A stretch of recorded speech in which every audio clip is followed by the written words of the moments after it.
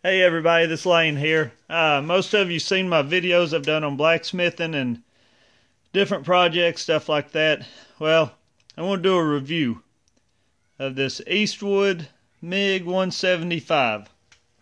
I'll be honest with you, I'm kind of a welding snob. It's either got to be Lincoln or Miller to get my attention.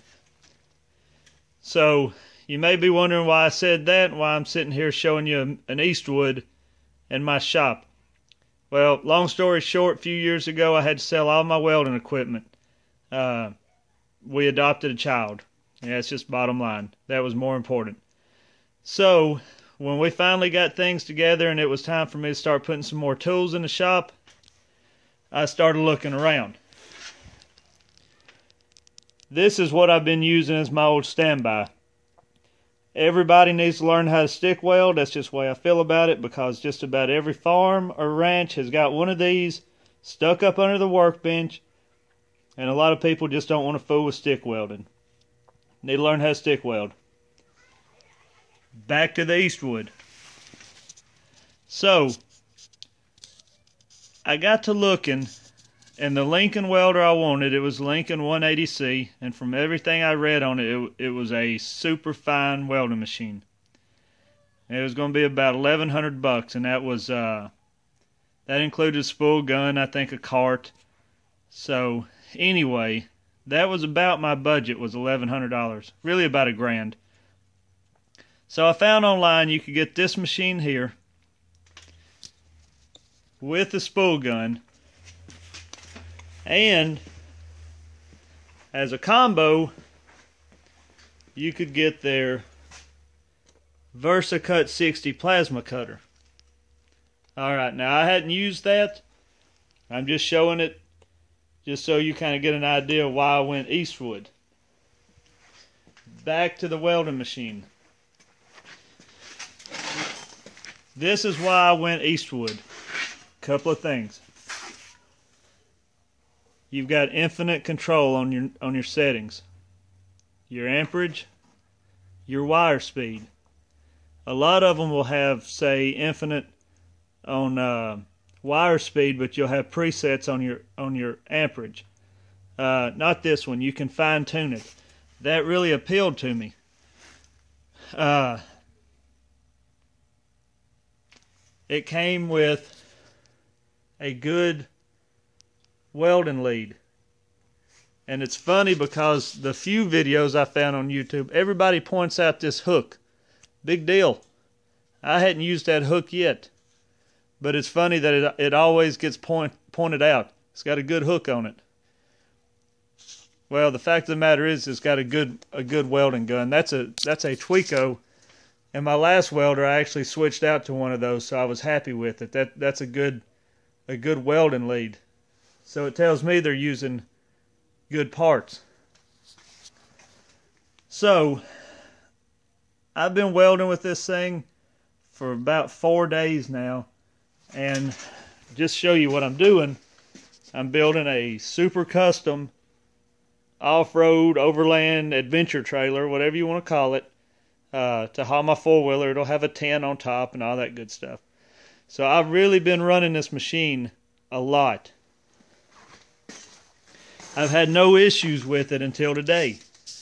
I noticed that when I would quit running a bead, I was still blowing shielding gas out of the gun. And uh, I called customer service. They put me in touch with their tech guy. He told me what the problem was. He's sending me a part. They've got a three year warranty on this machine. If I'm not mistaken, Lincoln has a three year warranty on their machines. Uh, they also have a 60 day no hassle send it back if you don't like it.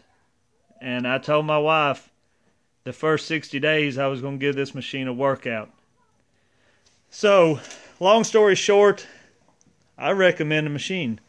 So far, I've only had that one issue, and they've uh, were pretty prompt to get a part in the mail. Uh, it's got a an over temp light basically when you reach the duty cycle of this uh, this machine it quits welding and if you can see the duty cycle it's 30%. I've only reached that one time, and I wasn't timing myself, but I was laying down a lot of beads pretty continuous.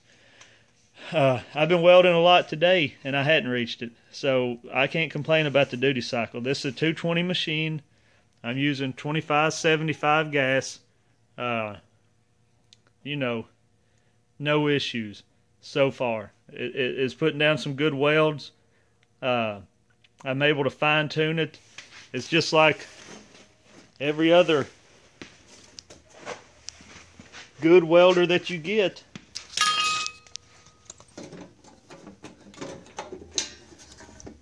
It's got the chart in it. Uh, it comes with a little spool of gas, a little spool of wire. I'm sorry. I bought a big one at Lowe's. Uh, and like I said, for like 1100 bucks, I got a good MIG welder. I know it's a good machine because I've been using it. It came with a spool gun for aluminum. I hadn't hooked it up yet. And I've got this plasma cutter. Thing is, it's got a three year warranty on it.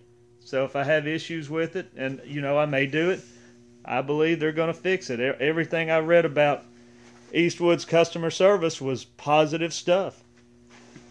So anyway, that's my down and dirty quick review of, of the Eastwood 175.